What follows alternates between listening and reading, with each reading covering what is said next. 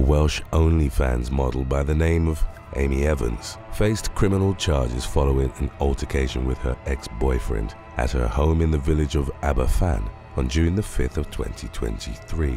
27-year-old Evans was said to have been in a violent and toxic relationship with Lewis Goff prior to their breakup, which became official a short time before the incident. In fact, on multiple occasions, local police have been called about the man's threatening and abusive behavior towards Evans. As a consequence for past offenses, Goff was subject to a restraining order that banned him from any form of contact with his former partner. On the day in question, however, he showed up at Evans's home and confronted her while filming himself with his cell phone. The woman repeatedly asked him to leave, but he refused. In what she would later label a last resort effort to make Goff leave the house, Evans reportedly wielded a steak knife and threatened to use it against him. During the altercation, the woman left a visible mark on Goff's chest. In the aftermath, she was arrested and eventually brought to trial at Merthyr Tydfil Crown Court. Evans said she'd acted out of panic when she used the knife against her ex, who'd often lashed out in violence in the past. The presiding judge emphasized that Goff bore a high level of responsibility for being present at the home despite being asked to leave. However, acknowledging Evans's wrongdoing, the judge highlighted that she'd taken the law into her own hands and should be punished accordingly. The mother of two was given an 18-month community order involving a specific rehab program tailored for women and also instructed to pay court costs. Number 10. Sarah Alexander Law enforcement in Des Moines, Iowa were called to a home on Southwest 17th Street for a report of a shooting on the afternoon of May the 8th of 2017. Officers found the shooting victim, 49-year-old Anthony Hartman, in the basement. Having sustained multiple gunshot wounds, he was pronounced dead at the scene. The man had a criminal history that included domestic abuse offenses, though at the time of the shooting he didn't pose an immediate threat of violence according to the police. Rather, he'd been gunned down by his stepdaughter, 29-year-old Sarah Alexander, whom he'd abused on a consistent basis, along with the rest of the family, for years. Per the man's son, Addison, he would regularly use household tools from screwdrivers to chainsaws to attack them. On one occasion, Hartman had broken his wife's hand in a fit of violence. Additionally, he hit his stepson in the head with a putty knife, inflicting a visible scar. Back in November of 2016, Hartman had been jailed on domestic violence charges before being released the following day. A few weeks later, he violated a no-contact order by showing up at the family home. He was arrested again, after which the family reportedly enjoyed six months of peace with their tormentor seemingly out of their lives. Alexander joked with her mother that she would kill Hartman if he ever showed up at the house again, as he did on the day of the shooting. Unbeknownst to Alexander, the no-contact order against Hartman was lifted only days prior. He'd apparently come to retrieve his tools in order to fix his car. However, he was immediately confronted in the basement by Alexander, who'd already decided to kill her stepfather and was just waiting for the right moment, according to prosecutors. In court, Alexander expressed remorse for her actions and pleaded guilty to involuntary manslaughter and reckless use of a firearm causing serious injury. She was sentenced to 10 years in prison for her crimes. Number 9. Elizabeth Rudavsky Canadian woman Elizabeth Rudavsky's tumultuous marriage turned tragic when she fatally stabbed her husband in self-defense in 2003, only to discover that he was actually a woman wearing prosthetic genitals. Rudavsky had met the individual she knew as Angelo Headington while the latter was living at a Glencoe area farm recuperating from a back injury. At the time, Rudavsky was traveling to different farms in the area to sell dog tags. Soon after, the start of their whirlwind romance, however, petty arguments and minor disagreements between the couple escalated into full-bore domestic violence, with Headington acting as the primary aggressor.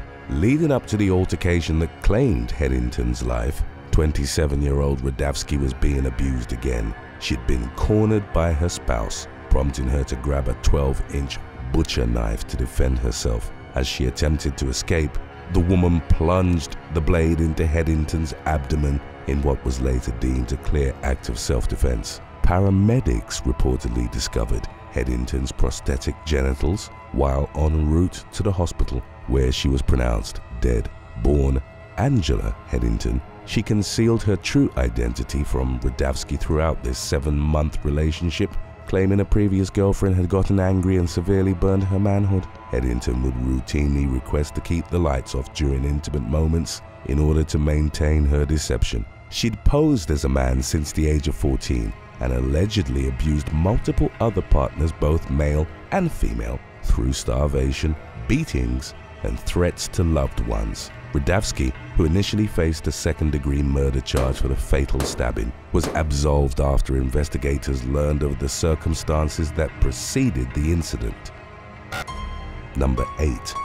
Cody Pines In September of 2015, a blind high school student was attacked at Huntington Beach High School in California. The victim, 16-year-old Austin Higley, was accosted by a bully outside the doors to the school. A 30-second cell phone video which amassed over 26 million views in the incident's wake showed Higley repeatedly getting punched in the head by the ruffian. Then suddenly, another student rushed into frame and knocked the bully to the ground with a single blow. Higley's rescuer, identified as 17-year-old Cody Pines, could be heard asking the bully why he was hitting a blind kid before issuing a stern warning to leave him alone in the future. Higley's attacker, who wasn't named, later claimed on social media that he was unaware of the teen's visual impairment. He was charged with misdemeanor battery and released to his parents while Pines wasn't arrested for the punch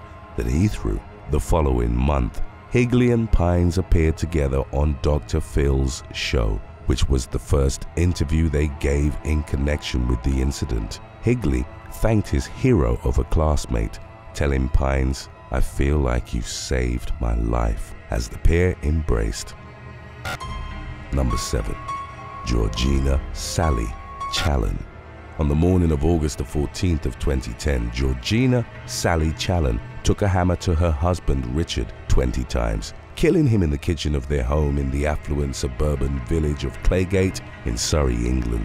The 56-year-old then covered the man's body and left a note that read, I love you, Sally. The following day, Sally drove her son to work, her husband's lifeless yet undiscovered remains still lying on the kitchen floor. She subsequently drove to Beachy Head in East Sussex with the intention of never returning. However, before she could bring her deadly plan to fruition, she was arrested and charged with Richard's murder. Following a week-long trial at Guildford Crown Court in June of 2011, Sally was convicted of murder and sentenced to life imprisonment. The woman later appealed the verdict, citing her husband's long-standing abusive tendencies. Her son David vehemently defended her, supporting the claim she made against his father. He testified that his parents' 30-year marriage had been more like a mental prison for his mother than a healthy partnership. Richard was said to have controlled the world around Sally, and also allegedly cheated on her relentlessly.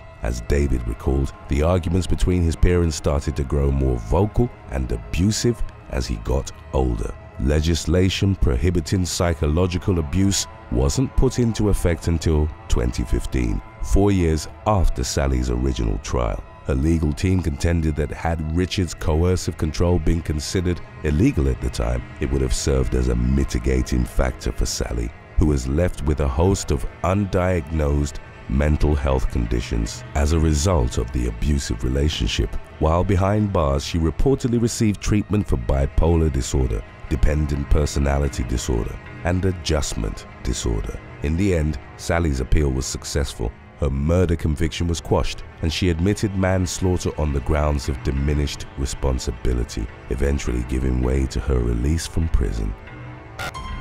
Number 6. Lilia Sudakova.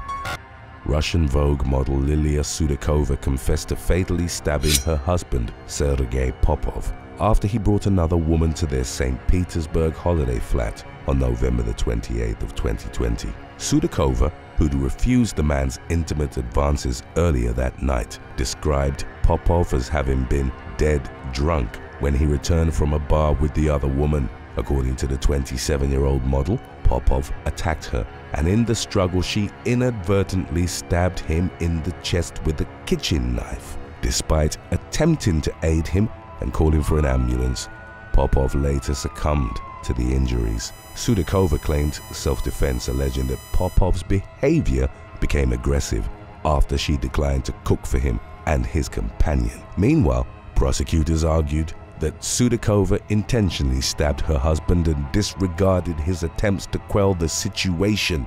They contended that her violent outburst had centered around jealousy, stating that she acted out of rage when Popov was accompanied by another romantic interest. Sudakova's mother, Irena, claimed that her daughter endured long-term domestic abuse and acted in self-defense during the incident, citing witness testimony to that effect. The model's friend, Karolina Pavlovskaya, echoed similar sentiments describing Sudakova as a victim of continual abuse at the hands of Popov. In January of 2022, the woman's grievous bodily harm charges were upgraded to murder, which could carry up to 15 years in prison as punishment. As of the latest updates, Sudakova was on house arrest while awaiting trial. Number 5. Alexandra V. In December of 2019, it was reported that a French Roman Catholic priest had been brutally murdered by a teenager whom he was accused of assaulting. The priest in question was identified as Roger Matassoli, who was 91 at the time of his killing. Matassoli had long been the subject of abuse allegations but nevertheless was allowed to stay within the church. He was moved around to different locations over the course of his decades-long career and he remained on the church payroll until 2018, which church officials attributed to an ecclesiastical error. The individual who killed Matassoli was identified only as Alexandra V, a 19-year-old who'd been working as a housekeeper at the priest's home in northern France. Matassoli allegedly abused both Alexandra and his father along with at least two others in a final act of retribution. Alexandra wielded a crucifix and rammed it down the priest's throat, killing him. He was caught by police while attempting to flee the scene.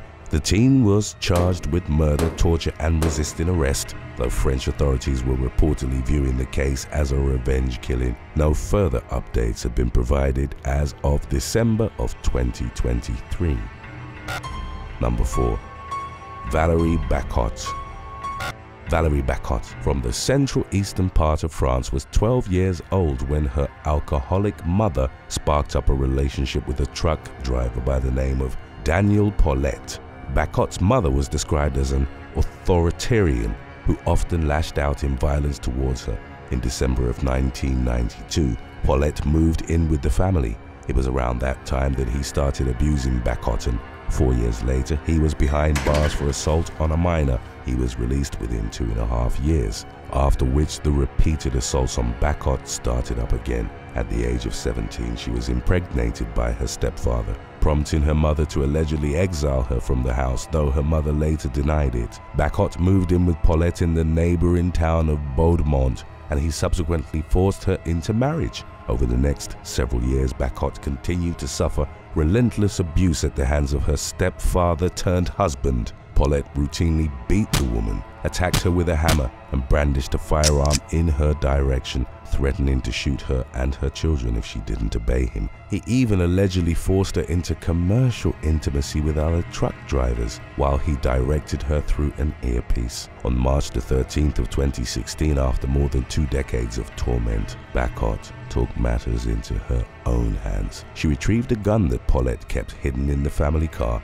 Recounting what transpired next, Bacot later stated that she remembered closing her eyes and pulling the trigger as she sat behind Polette in the vehicle. The bullet, fired from point blank range, killed the man instantly. She enlisted the help of her two teenage sons as well as her daughter's boyfriend to bury Polette's body in the woods.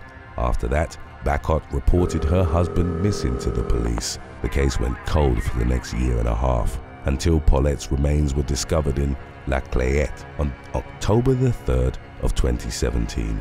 Bacot and her children were arrested shortly thereafter. The woman faced a murder charge while her sons were accused of concealment of a corpse and not reporting a crime. In juvenile court, the teens were ultimately given suspended six-month prison sentences. Bacot went to trial during the summer of 2021, facing the possibility of spending the rest of her life behind bars. She told the court about Polette's long-standing campaign of abuse and largely won the sympathies of the general public, leading to more than half a million people signing a petition demanding her exoneration. In the end, Bacot was sentenced to four years in prison, three of which were suspended. After spending a year in pre-trial detention, the woman was allowed to return home.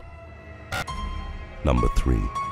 Willie Mae Harris In May of 2020, Willie Mae Harris, aged 72 and now blind, was released on parole after spending over 34 years in the Wrightsville Women's Facility in Arkansas for the 1985 murder of her abusive husband, Clyde. After clemency proceedings were initiated in 1998, the Arkansas Parole Board finally approved her release on May the 14th, despite her original 140-year sentence. Arkansas Governor Asa Hutchinson announced plans to commute her sentence earlier in the year, paving the way for her eventual parole. During her original murder trial, Harris testified that the fatal shooting of her husband was the culmination of years of abuse that she'd suffered. She claimed that the man constantly issued her death threats during the course of their marriage. On the day of the shooting, Clyde allegedly forced himself on her, triggering a contentious argument. Harris claimed that she was hitting her husband with a gun,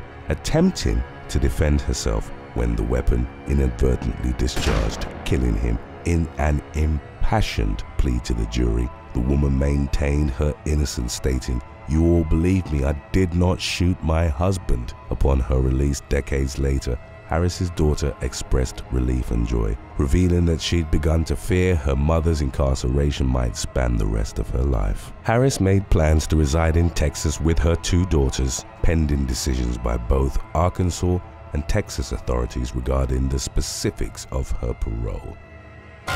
Today's topic was requested by Look Who's Watching 9326 and Vodivan TTV. If you have any other topics you'd like to learn about, subscribe and let us know in the comment section below.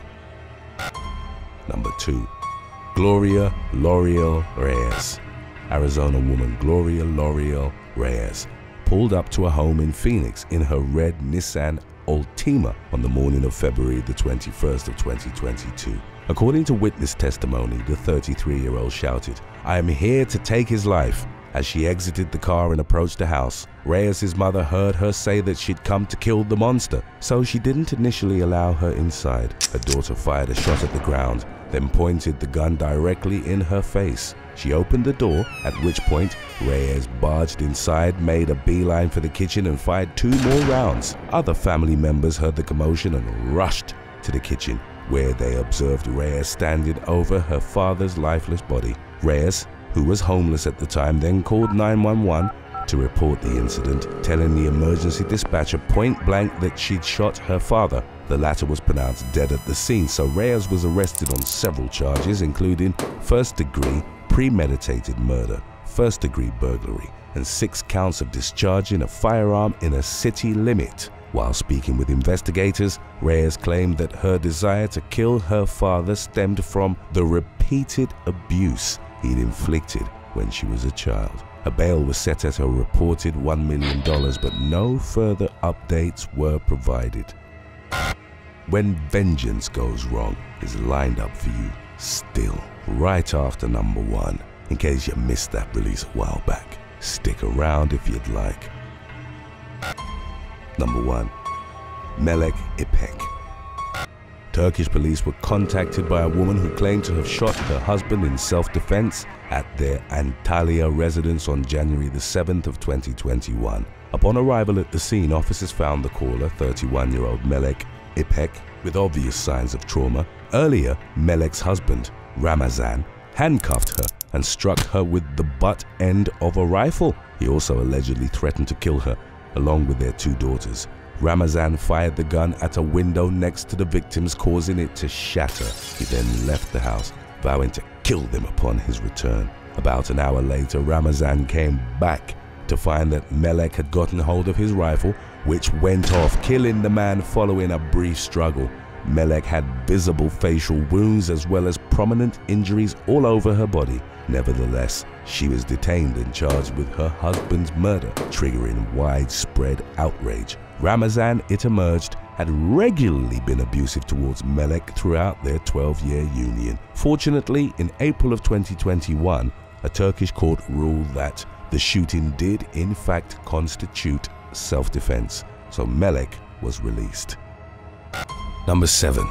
Joanne Hemingway in June of 2017, an argument between two neighbors in Hull, England, escalated to physical violence before ending in murder. There had been a history of bad blood between Angela Burkett, a woman in her early 50s, and 39-year-old Joanne Hemingway, both of whom lived on the same road. Burkett, who'd struggled with substance abuse, reportedly regarded herself as the queen of Beverly Road and, by some reports, resented Hemingway as a potential challenger to her self-given title. Earlier in the day, on June the 29th, the latter had gotten the best of Burkett in a fight witnessed by several other neighbors. Burkett then exacted her revenge, aided by her partner, Glenn Foster. The pair were armed with knives and Foster also carried a baseball bat as they charged Hemingway. She used a scaffolding pole to try and fend off her attackers but the skirmish ended with her being stabbed through the chest. She succumbed to the wound and the authorities initially charged Foster with the murder, a narrative that Burkett was willing to support. When the man wrote to her asking her to reveal the truth of how the altercation had unfolded, she refused to do so. However, in the massive investigation that followed, the authorities concluded that Burkett had dealt the killing blow in what multiple media outlets would describe as a revenge killing. A judge at Hull Crown Court told Burkett it was absurd for her defense to claim that someone else had stabbed Hemingway while also describing the victim as a much-loved daughter, sister, and mother. Burkett was sentenced to life in prison with parole available after a minimum of 20 years. In April of 2020, while serving her sentence, Burkett passed away after suffering from pneumonia after contracting COVID-19, with reports indicating that she'd refused to take precautionary measures even though her health was already vulnerable due to hepatitis C. Number 6. Dylan Harrison in October of 2021, an officer with the Alamo Police Department in Georgia was killed during his first day on the job in a vengeful shooting perpetrated by a man whose friend he'd recently arrested. On the evening of October the 8th, Officer Dylan Harrison stopped an unnamed suspect for a traffic violation in the parking lot of a Circle K across from the police station. The suspect refused to identify himself and a physical struggle ensued in which the officer used his taser on him. The suspect was then arrested and booked into Wheeler County Jail. Upon hearing about the incident, an associate of his, 43-year-old Damian Luke Anthony Ferguson, staked out the police station. At around 1 a.m. on October the 9th, he allegedly ambushed and gunned down Harrison in front of the building. He was survived by a wife and a six-month-old daughter and was the first Alamo officer to have been killed in the line of duty. After a brief search, the state of Georgia's SWAT team apprehended Ferguson and an investigation into the alleged cop killer is ongoing. Number 5. Casey McKinney On February the 13th of 2018, a woman was gunned down by her ex-boyfriend at an apartment complex on Barton Road in Redlands, California. At the time of the shooting, 31-year-old Casey McKinney was at the residence with her new boyfriend, whose identity wasn't released, and her four-year-old son. Riverside man Bradley Thomas Wass, aged 33, is believed to have sought revenge on the woman after she'd broken up with him. Wass opened fire on McKinney, inflicting fatal injuries to which she succumbed at the scene, but also took aim at her child and boyfriend. The other man was able to grab the baby and escape the gunfire by jumping from a second-story balcony. Both survived with the child subsequently placed in protective custody. The authorities launched a search for Wass and a few days later found him dead at the Indian Hills Golf Club in Mira Loma. The cause of his demise was reported as a gunshot wound, which appeared to have been self-inflicted. Number 4. David Allen a man from the Northern Moor area of Manchester was brutally assaulted on June the 4th of 2020 following a series of events that was set in motion after he'd pushed a teenager off his bike. The incident was pieced together by the authorities from surveillance footage and witness testimonies. At some point, three teenagers had cycled very close to 23-year-old David Allen. As he was walking on the pavement, Allen reached out and pushed the one nearest to him, causing him to fall off his bike before continuing towards the Tesco Express. The teenager's mother, who'd presumably been informed of the incident in the meantime, then pulled up in front of the Tesco in a Nissan Juke and confronted Allen. He started walking away from her, but she followed him and flagged down a van driven by 30-year-old Aidan Matthews, an acquaintance of hers, telling him that Allen had hit her son. An altercation ensued between the two men in which punches were exchanged that left Matthews with a bloodied face. The latter drove off and picked up his friend, 33-year-old Joseph Stott, from a nearby address. Together they tracked Allen down and proceeded to viciously beat him. Matthews struck him repeatedly with a large metal torch and Stott forcefully kicked him multiple times as he lay on the ground. The pair then left him in the street and fled the scene, colliding with another car.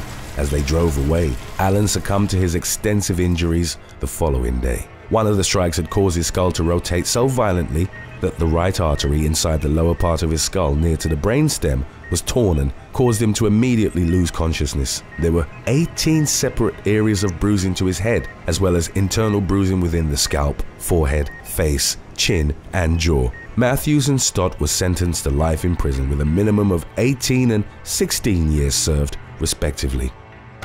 Number 3. Roy Jaggers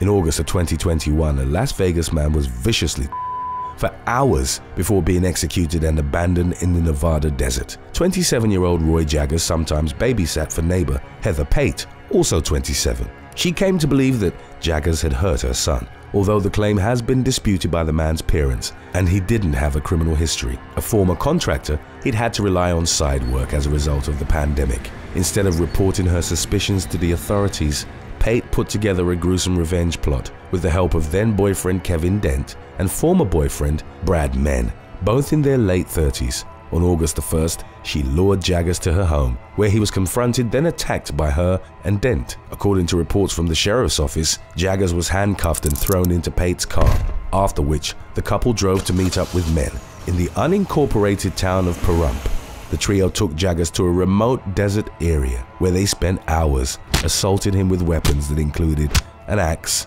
a baton, and knives as well as a blowtorch. His tormentors then drove Jaggers about 25 miles to Cathedral Canyon, where they stripped him of his clothes and forced him to walk off a cliff. Afterwards, he was shot multiple times. His body was found later in the day and Pate, as the last person to have been seen with him, became a person of interest. She and Dent were arrested after the police searched their homes. Mann was taken into custody as well and he ultimately produced the murder weapon. The trio was charged with murder, kidnapping, battery with substantial bodily harm, and conspiracy to commit murder. Their trials are ongoing, but prosecutors stated an intention of seeking the death penalty for Mann who acted as the triggerman. Number 2.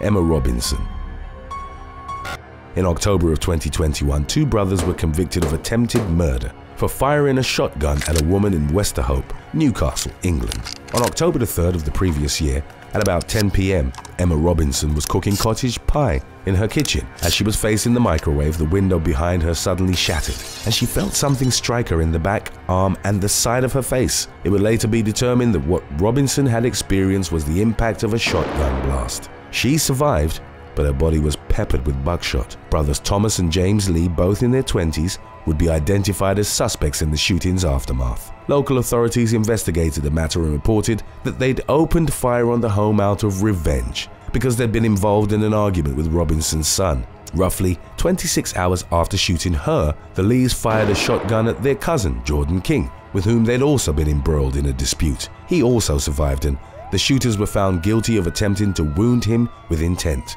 The prosecutor, who'd successfully argued for attempted murder in Robinson's case, pointed out that given the circumstances, the Lee brothers would have undoubtedly noticed that there was someone in the kitchen. Number 1. Denise Nagrodsky A middle-aged woman was sentenced to 10 years in prison in October of 2015 for attempting to hire a hitman to kill three people. 52-year-old Denise Nagrodsky's daughter had been in a relationship with an abusive man who'd reportedly caused her to suffer a miscarriage while she was pregnant with twins. Nagrodsky began searching for someone to make the ex-boyfriend, as well as those close to him, pay for the physical and emotional anguish her daughter had experienced. The vengeance plot involved hiring someone to kill her daughter's ex along with his sister and her boyfriend. An intelligence division of the NYPD discovered that Nagrodsky was looking for a hitman and informed New Jersey law enforcement. An undercover detective for the state police violent organized crime control South Bureau posed as the prospective assassin and met with Nagrodsky at the Phillipsburg Mall in Lopatcong on November the 21st of 2014. The woman said that she wanted her daughter's ex-boyfriend to be burned alive and told that she was the one responsible for it. The man's sister and her partner were each to be shot twice in the head, with the execution method described by Nagrodsky as once for each twin. Since she couldn't provide the gunman with a firearm, she settled for him bashing their brains in and setting the house where they lived together ablaze. She then gave him $500. On their second meeting, which occurred a few days later, she provided the undercover detective with photos of the victim, a map to their home, and an additional $500. Nagrodsky was arrested shortly after leaving the meeting, but had the authorities not intercepted the murder for hire plot, three people would have most likely lost their lives. Thanks for watching. If you were given a chance to get payback on anyone who wronged you in the past, would you take revenge or forgive them? Let us know in the comments section below.